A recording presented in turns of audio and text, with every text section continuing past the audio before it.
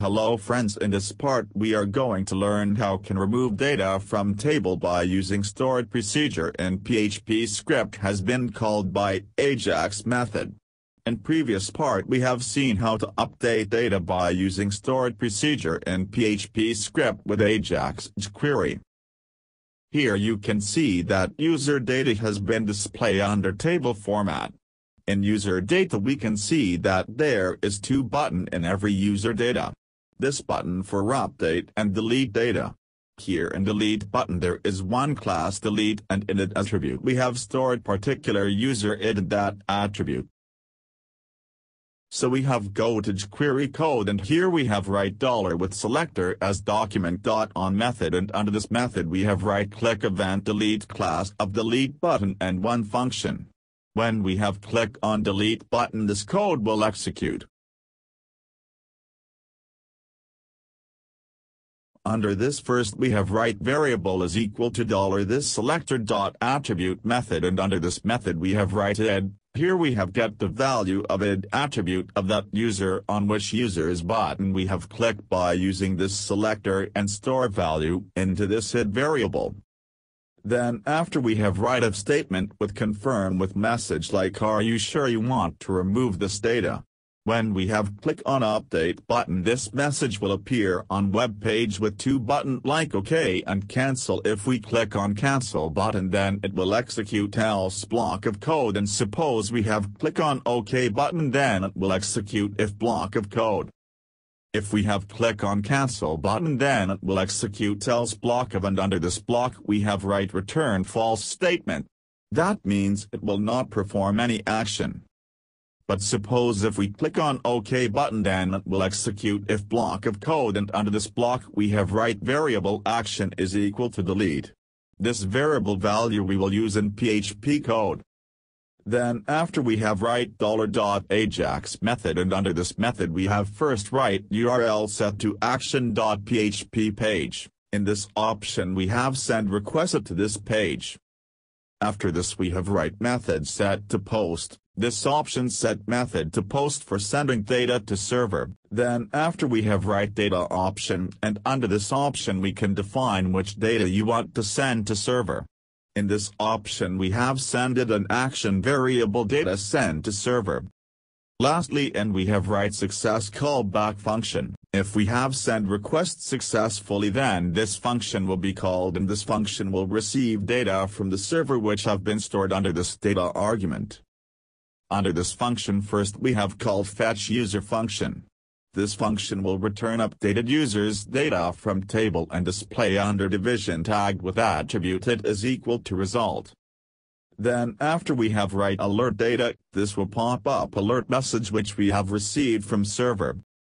Now we have moved to write PHP code in action.php page. On this page here we have write of statement with condition like dollar $post action variable is equal to delete. This condition will check, if value of this variable is equal to delete then this code will execute. Under this block we want to define stored procedure for delete users data, so we have write dollar $procedure variable is equal to create procedure delete user with one input variable user ID with data type integer. Here we have defined stored procedure with delete user as name. Then after we have write begin and end statement and between this statement we have write delete query like delete from users where it is equal to user ID. This will remove particular user's data removed from users table. Now our stored procedure for delete data is ready. Now we have write if statement with condition like mysqli query function with two argument like database connection string like dollar $connect variable and in second argument we have write query like drop procedure if exists delete users this function will drop delete user stored procedure if it is exists and it will execute if block of code. Under this block we have write again if statement with condition like mysqli query function with two argument. In first argument we have write database connection string dollar $connect variable and in second argument we have write stored procedure which we have stored under dollar $procedure variable. This function will create delete user stored procedure and it will execute if block of code. Under this block we have write one query variable is equal to call stored procedure name delete user with input variable like dollar $posted variable. This way we have called delete user stored procedure and store under this dollar query variable. Then after we have write mysqli query function with two argument, in first argument we have write database connection string like $connect variable and in second argument we have write $query variable. This function will execute query and execute delete user stored procedure query and it will delete data from user's table. Lastly we have write echo statement with text like data deleted. This message will be appear on web page after user's data has been removed from table. So our code is ready for how to delete data from MySQL database by using stored procedure in PHP script with Ajax method without page refresh. So we have saved this code and check output in browser. Friends you can see that two text box and one add button on web page and below this we can see users data in table format with update and delete button. So when we have click on delete button then it has ask message like are you sure you want to delete this? If we have click on cancel button, then after no action has been taken button again when we have click on delete button then again pop up message. Now we have click on OK button then after we have received pop message like data deleted and after this table that user's data has been from table also without page refresh.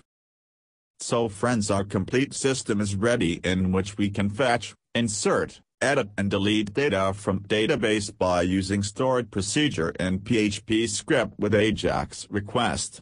Insert, fetch, update and delete records from database by using PHP is a very simple feature for new programmer. But here is something complex task. In this task first of all we have used stored procedure for CRUD operation and second is we have used Ajax method with stored procedure for CRUD operation.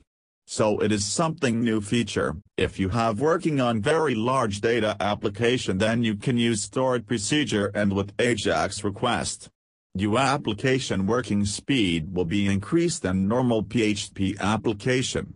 This is because stored procedure executes query at database server not on PHP script.